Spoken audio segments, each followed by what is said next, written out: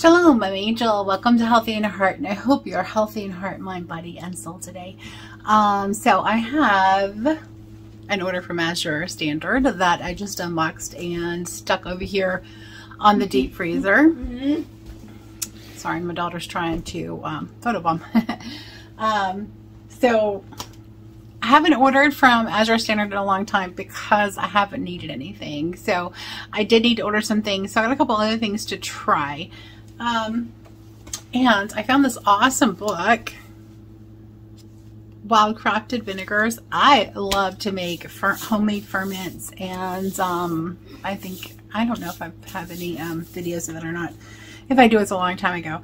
Um, but I love to make homemade um, ferments and vinegar is one thing I haven't really tried.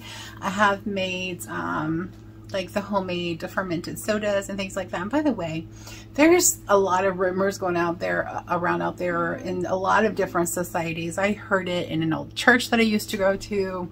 I just heard it yesterday or heard it when I read a book from a raw vegan that fermented foods are rotten foods. That's not true. Um, fermented foods are pre-digested foods. Yes, they are beneficial to your body. So whoever tells you that is uh, anything opposite to that is um, not. Is is there's not either not informed or they're lying. Um, so yeah, you can look up information. There is plenty of evidence that um, fermented foods are really, really, really good for your gut microbiome, which is good for you. Um, so yeah, I got this book and I want to try some of the vinegars out of there. Um, over here are the large lima beans. I got four of the five pound bags. Didn't need 25 pound bag of it, so I just got four of the five pound bags. Um, I got some Vital Wheat Gluten. I use that every every week, multiple times a week when I make bread, usually. Um,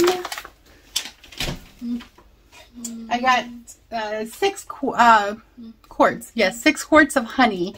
Uh, the wild crafted um, honey, raw honey. This is, I got three of the orange blossom and three of the berry wild uh, flower honey. These taste so delicious on their own, but I also put these in my homemade um, fire cider recipe, which I will be doing a video soon for. But I got three of those. And these guys, I ordered this through the mail and shipping was a $100. This cost total is uh, three something.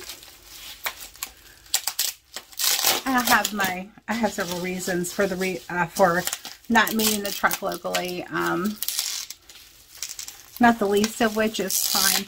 But they come packaged like this, wrapped up really well in bubble wrap which I wanted to show you, and I don't even know why I'm unwrapping this right now. Sorry. habit. It's just, it's just habit.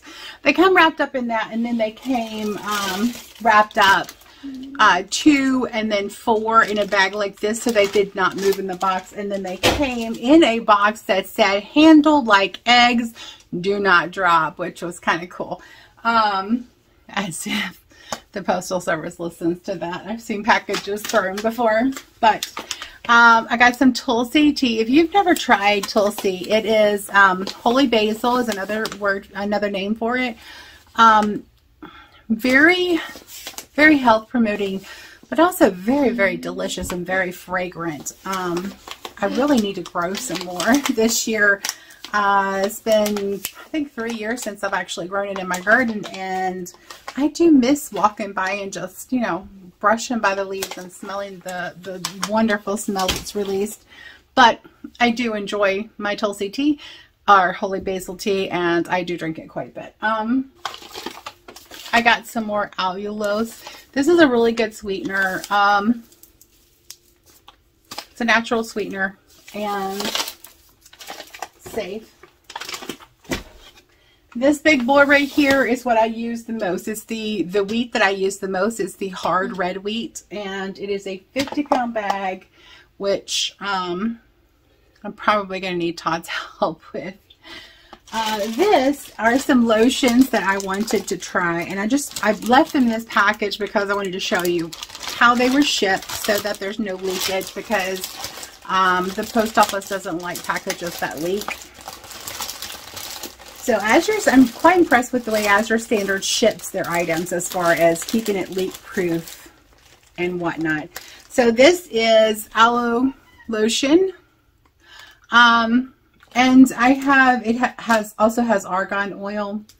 Um, it's natural. Um, it doesn't have the, the really bad ingredients in it. Um, but, oh, the, the tops of everything is taped with electrical tape as well as the honey. I forgot to mention that to prevent leaks. So I'm trying to find some lotion that I can use. This is Neem Hand and Body Lotion. That does not bother Todd. He has a very sensitive nose. Uh, well, mine is really sensitive too. So like um, chemical synthetic fragrances, I can't handle. It just sets my nasal passage on fire, um, which is pretty much all of the uh, scented scents that go in the fabric softener and things like that. I can't handle it. Um, this one is patchouli body lotion.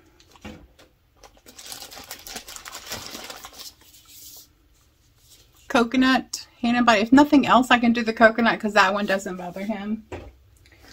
Better to put it on your body than in your body. um, pumpkin spice, desert essence.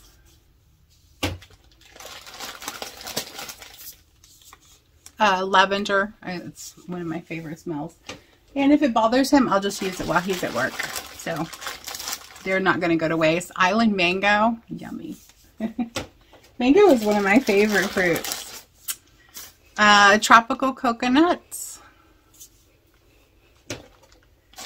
And these are, I think, two, maybe three different uh, companies that make these. And the sweet almond hand lotion. Um, so, because every now and then I have a breakout of eczema that just is usually when something creeps into my diet that um, I'm allergic to, which is like nuts. And I just found out that I can't have uh, sunflower seeds. My body doesn't react well to that. So, yeah, there it is. It just softens my skin. so, that does it for my Azure Standard haul. Thank you so much for joining. Oh, I will be having another one soon because I ordered a couple other things that they were completely out of.